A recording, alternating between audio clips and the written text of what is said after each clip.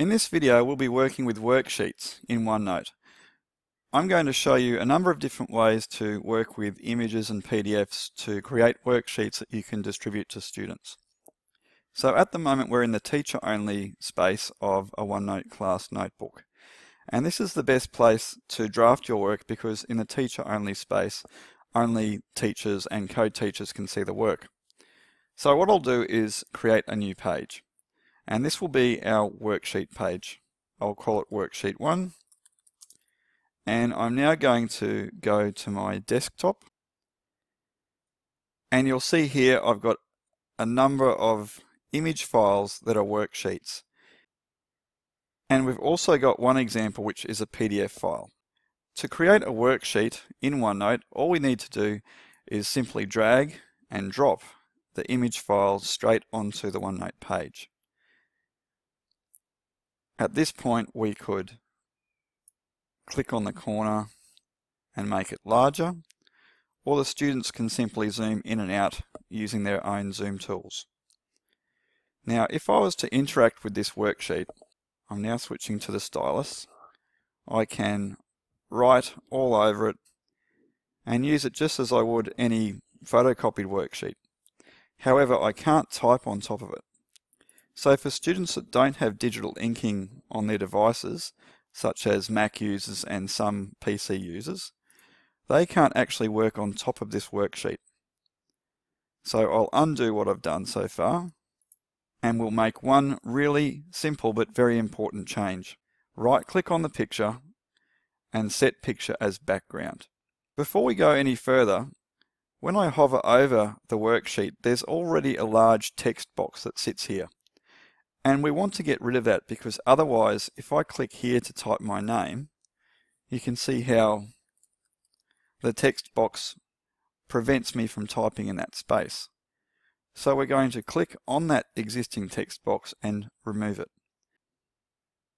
So with the text box gone, we can now click here with our cursor and type our name. We can click here and show our working and we can click here and show our answer. So that's our first example of this type of worksheet. I'll add another page and we'll do the same with some other examples. Once again I've dragged and dropped the file in and this time we have a character analysis. Students may be able to zoom in and if they've got digital inking they can write directly on top of the sheet. They can also mark up and highlight as they need to. But once again, there may be some students in your classes that don't have that technology available to them. So we do the same thing. We click on the image, right click, set picture as background. Then we click and delete the existing text box that would have been on the page. Now, once again, students can click anywhere, add their name, they can add the date, and they can also work inside these spaces here.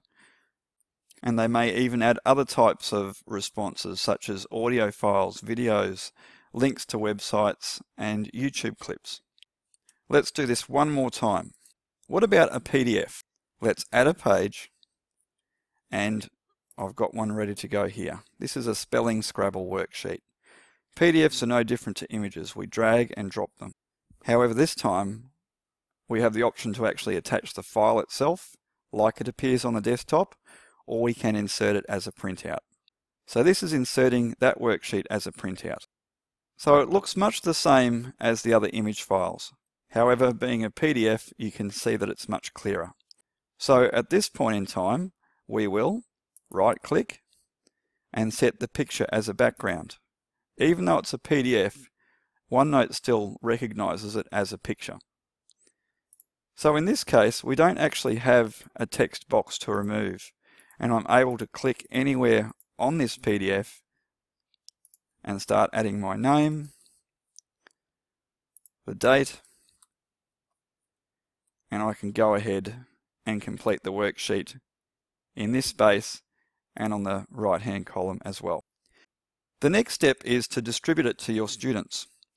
So let's go into our character analysis as an example. There's two ways that we can do this.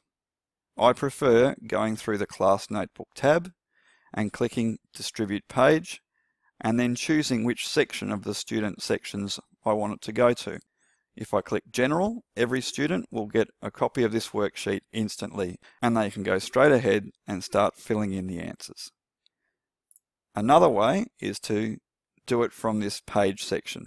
We can right click, distribute page, and we've got the same options once again. In some cases you might just want two or three students to receive this worksheet, so you've got the option to do so there as well. If you've got access to other teachers' notebooks, as a co-teacher, you can even send this sheet to other classes. So I'm going to send this worksheet into the general section of all my students. To do this, I simply click General. We now have a very fast progress bar which indicates that this page has already been sent to those sections.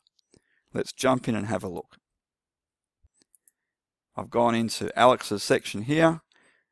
In his General tab, Character Analysis, we can see the sheet is in here, ready for Alex to use in his class.